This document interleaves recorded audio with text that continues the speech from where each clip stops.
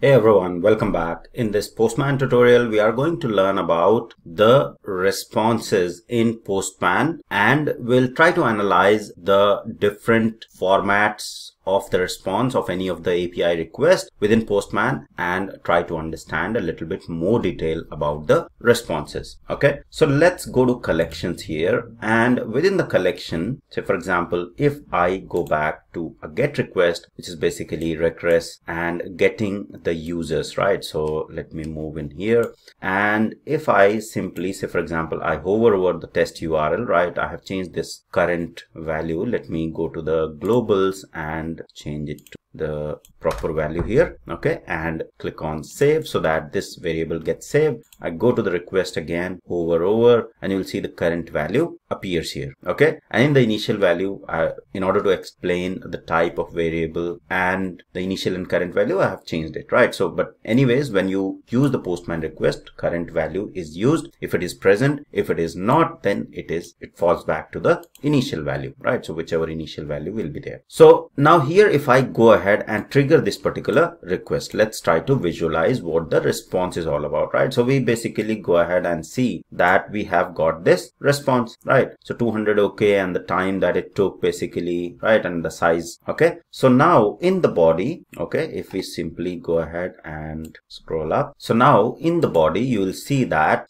we have pretty formatted JSON, right? So by default, the Postman recognized this is, this is a JSON format, right? The response is JSON and you will see it has by default chosen JSON format. There are different other formats. So basically if I simply want to change it to text or you know change any other format i can simply go ahead and change it. If we by default it will be auto. So depending on what response is being received by that particular api call that will be pretty formatted right? So when we say pretty formatting pretty formatting will format this particular json in a very good looking format which is easily which is easy to read right so you can easily see that this particular uh, json has these particular um, you know key value pairs and then there is a dictionary basically the list of or array of data within which there are multiple you know IDs with different data set right?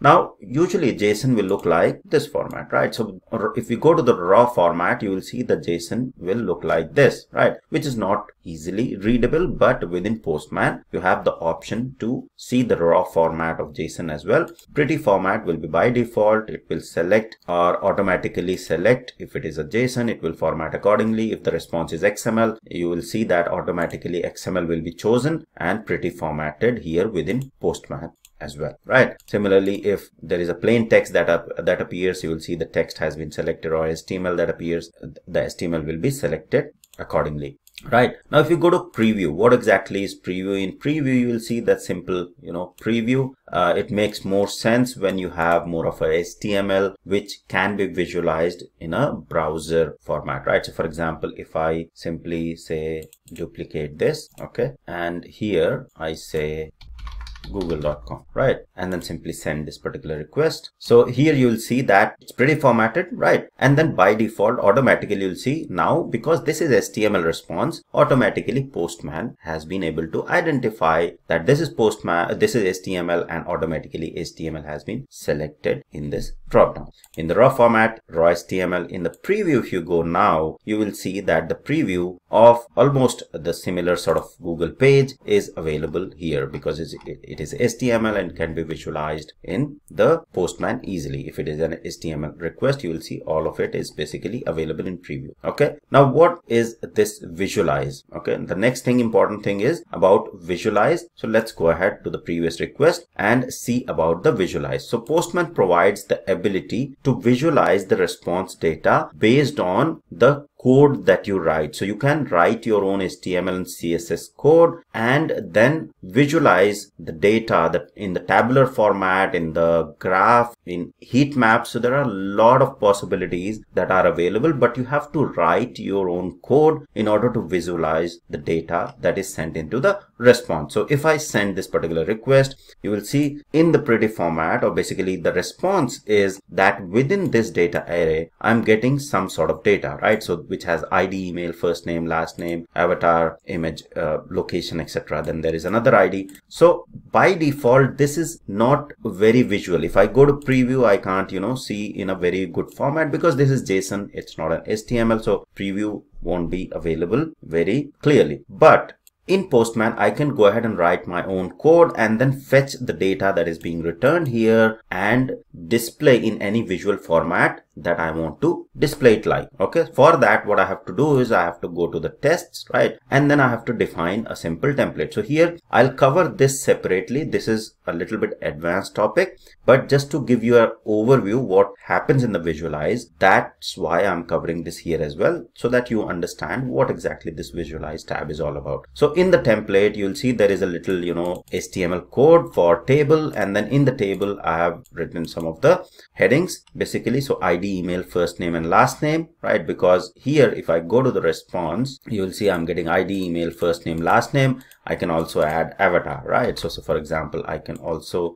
go ahead and add you know avatar. So i'll add another column there and i'll say I also want avatar to be displayed. Then similarly here what we are doing we basically iterating because there is a in the response you will see that we are getting different response different data sets. So one, two, so we have to iterate and then display or visualize the data accordingly, right? So here we are for each basically uh, response and then response dot data. Why? Because you will see this is the response. And then within the response there is a data tag wherein we are getting all of this data. So that is why dot data here. And then here we are displaying all of it right? So if we want to display the avatar as well so i'll simply add one more and we simply put in the avatar there okay? So tag there after last name. Okay? And then there's simply a visualizer. So this is basically a variable that we have defined and then we are simply visualizing. So we there is a method visualizer dot set and then setting the template and then displaying or basically fetching the response from the JSON, right? And then visualizing it, right? So that's the only thing we have to do. Now, if I go ahead and send this request and go to visualize, right, you will see